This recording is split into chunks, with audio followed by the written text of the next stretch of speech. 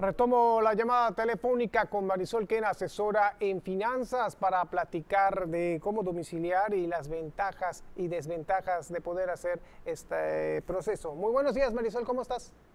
Buen día, Humberto. Muy bien, gracias. Marisol, pues para platicar de este interesante tema, que muchas veces tenemos esta opción de poder domiciliar los pagos. Podríamos comenzar platicando un poquito de cómo es este proceso, qué significa domiciliar, a qué se refiere. Claro que sí, Humberto.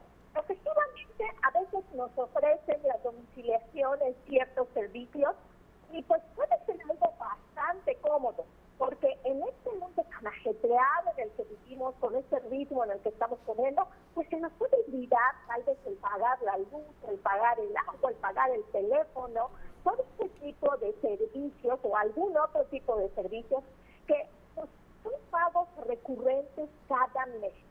Y ante pues, lo que tenemos que se nos puede ir. Entonces nos ofrecen la domiciliación, que es este proceso mediante el cual nosotros aprobamos que automáticamente mes tras mes nos cobre en, a través de nuestra cuenta de banco la cantidad de la factura, ya sea de luz, de teléfono, de agua, de cualquier servicio que nosotros aprobemos. Entonces, a este cobro automático recurrente algún servicio le llamamos domiciliación. Perfecto, Marisol. Hablemos de las ventajas de esto, Marisol. Pues tiene su lado bueno, como todo, la tiene su lado bueno y su lado malo. Su bueno, podemos decir que es esta comodidad, es ese hecho de no tener que estar pensando cada mes, ahora me toca pagar otra vez el teléfono, que se nos vayan las fechas, que nos corten el servicio.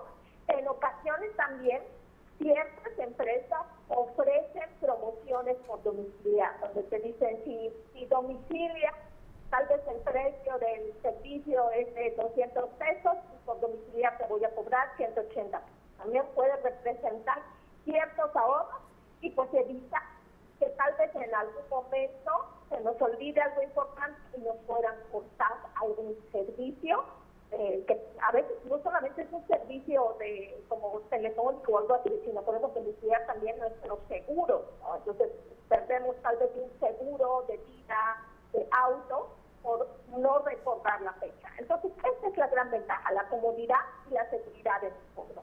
No, claro, y luego los horarios, que sale uno del trabajo y no, no alcanza algunas eh, dependencias, pero hablabas también que pudiera tener desventajas.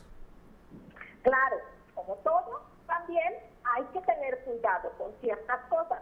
Y la domiciliación, lo más importante es que siempre revisemos la cantidad que nos domicilian. Porque sí pueden ocurrir casos donde por alguna razón ¿no? haya algún tipo de error en la cantidad que nos van a cobrar. ¿no?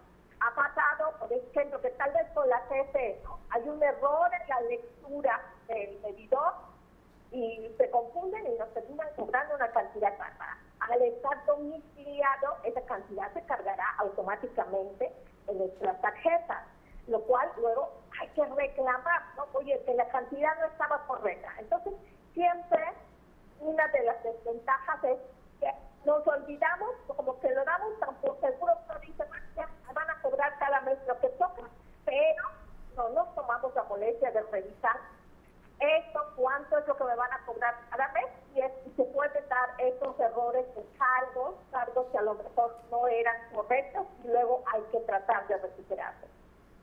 Eso suena muy interesante esto, porque luego aparecen servicios que luego uno dice, bueno, yo en qué momento solicité esto, ¿no? Pero que apretaste el 2, apretaste el 3 y te hicieron una llamada y resulta que ya tienes un servicio adicional y nunca te diste cuenta y como está domiciliado, nada más te lo están descontando. Te, lo, te, te vienes a dar cuenta después en el octavo mes cuando ya te lo cobraron.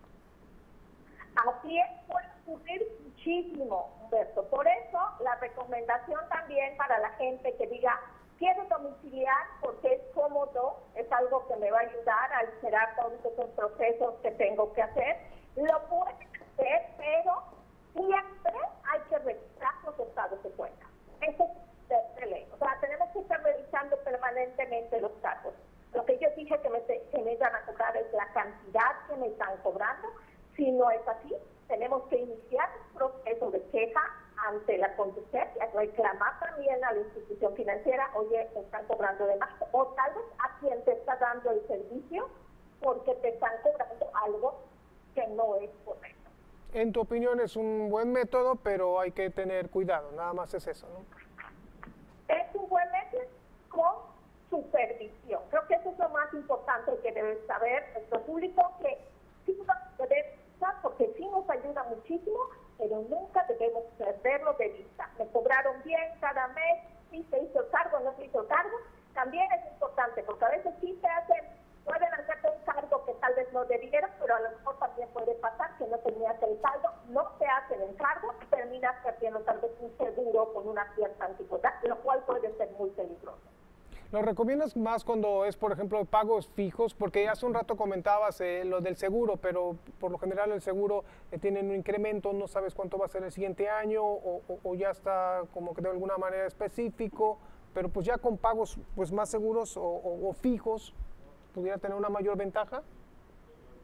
Sí, cómodo para pagos fijos, es, menos complicado que te cobren tal vez algo que no deberían, como por ejemplo domiciliar, ejemplo, la luz o el agua. El agua a veces, si tienes una fuga, te terminan cobrando todo y luego ponte a recuperar el dinero. En ese tipo de casos luego puede ser un poco, un poco complicado. Más complicado, Pero claro. también con, con los seguros, digo, se puede usar pero hay que cuidarlo, hay que ver que siempre se haga el cargo para no correr el riesgo de perder el seguro. Excelente. Marisol, ¿alguna recomendación final?